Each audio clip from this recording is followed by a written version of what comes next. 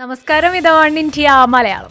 I P L കളിക്കളത്തിൽ മാന്യതയുടെ അതിർവരമ്പുകൾ ലംഘിച്ച റോയൽ ചലഞ്ചേഴ്സ് ബാംഗ്ലൂർ നായകൻ വിരാട് കോഹ്ലി. കൊൽക്കത്തക്കെതിരായ മത്സരം കൈവിട്ടു പോകുമെന്ന ഉറപ്പായ ഘട്ടത്തിൽ കൊൽക്കത്ത ബാറ്റ്സ്മാൻ ആന്ധ്രെ റസലിന്റെ തലയ്ക്ക് നേരെ പന്തെറിയാൻ കോഹ്ലി പേസ് ബോളർ ഉമേഷ് യാദവിനോട് ആവശ്യപ്പെട്ടു.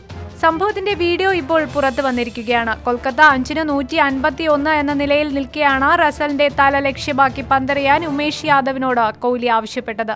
ക്യാപ്റ്റന്റെ ആവശ്യം അക്ഷരം പ്രതി അനുസരിച്ച് ഈ രീതിയിലായിരുന്നു ഉമേഷ് പല പന്തുകളും എറിഞ്ഞത്. തലയ്ക്ക് നേരെ വന്ന ബൗൺസറുകളിൽ റസൽ റൺസ് കണ്ടെത്താൻ വിഷമിക്കുകയും ചെയ്തിരുന്നു.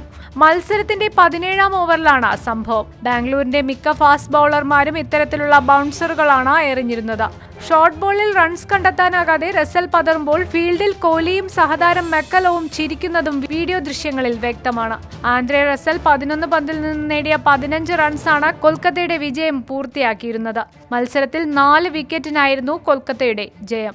ഏറ്റവും പുതിയ വാർത്തകൾക്കും വിശേഷങ്ങൾക്കും സബ്സ്ക്രൈബ് ചെയ്യുക ലൈക്ക് ചെയ്യുക ഷെയർ ചെയ്യുക വൺ ഇന്ത്യ മലയാളം.